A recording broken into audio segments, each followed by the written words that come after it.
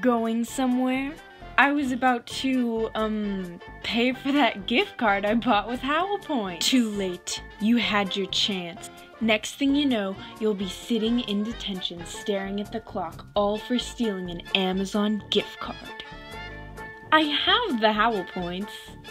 And hand them over. And this conversation never happened.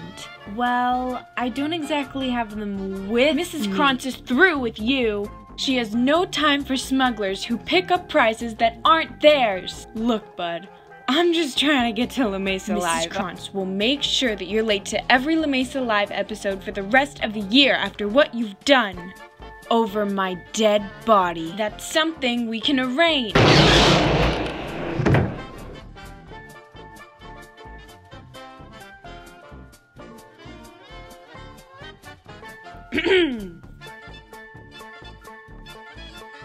I'm off to La Mesa Live.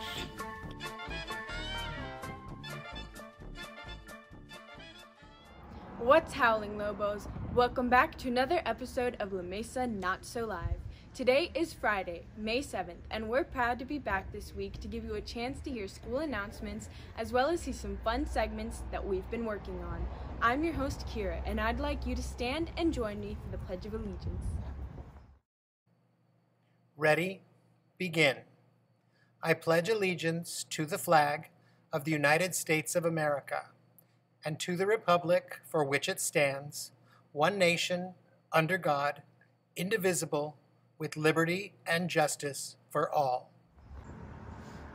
In a year of uncertainty, at least one thing can be counted on the yearbook will be delivered. This year's book will be an amazing, one of a kind yearbook that you and your family will want to keep forever. There's still time to reserve your copy today at yearbookforever.com. Attention 7th graders, if you're interested in joining the ASB team for the 2021 to 2022 school year, check out the ASB Google Classroom. The code to join is OMSSWVJ. As a reminder, filling out the Google form does not guarantee you a spot in ASB. ASB can't wait to see all of your responses. if ASB isn't the elective for you, or you're curious about some of the other electives available, we have a segment that you might enjoy. Here are a couple of electives that you might be interested in hearing about. Heads up, 7th graders. Have you been wondering about a few of the electives you can take?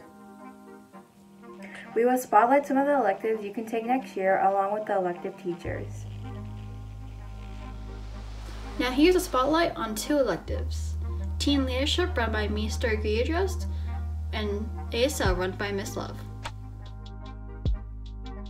What is your main objective for your class?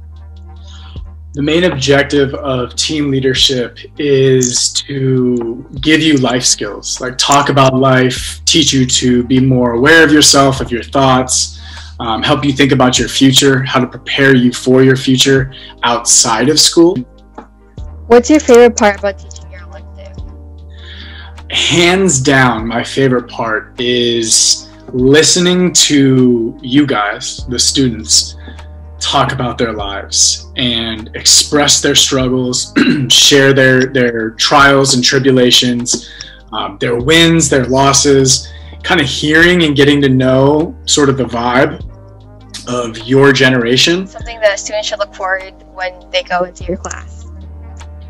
Um, probably the the main thing that they should look forward to. I'd say there's two things. Number one is you can look forward to connecting with like your peers every day. And the other thing that students always like, and, and this is I don't like to say it that much because it makes the class seem or it might make the class seem less uh, serious or important, which is not the case. But I think you can also look forward to like we don't have homework.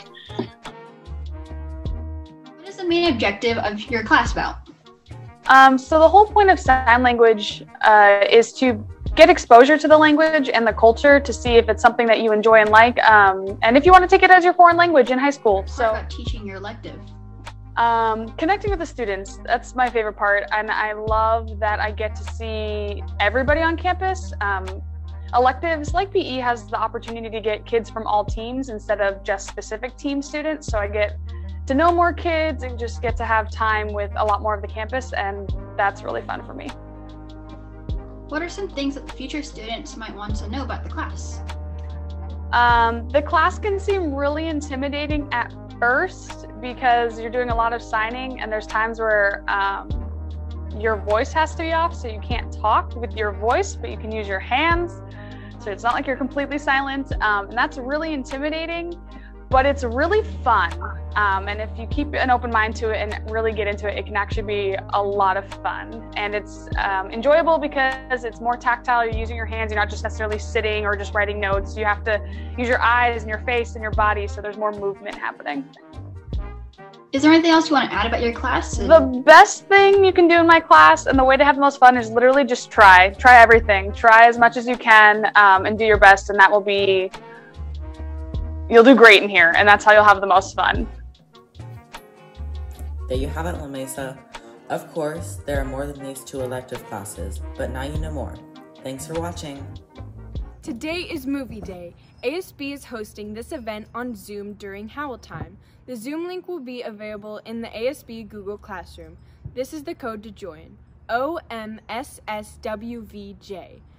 ASB will be showing the Smurfs. ASB can't wait to see you all. ASB is also hosting a sports scribble today. The event will be held during Howl time. The Zoom link will be available in the ASB Google Classroom. The winners will receive Howl points. ASB can't wait to see you all there.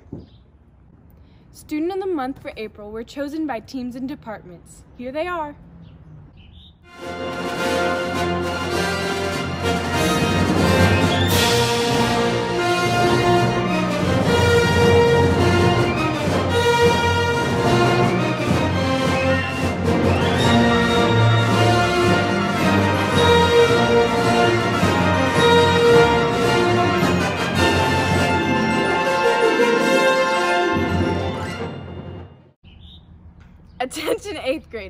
Are you interested in creating a daily news television show that is broadcasted to the entire school live five days a week?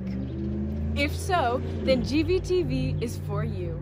If you've taken at least one year of video production, then you're eligible to be a part of the Golden Valley High School's GVTV. For more information, go ahead and email Ms. DeVera at ddevera at hartdistrict.org.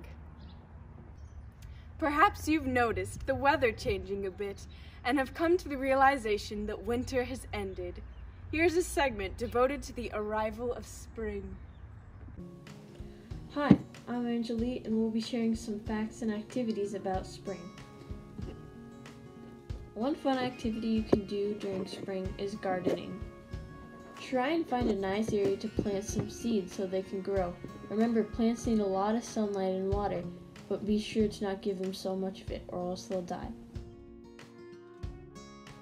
Another activity you can do is bike riding.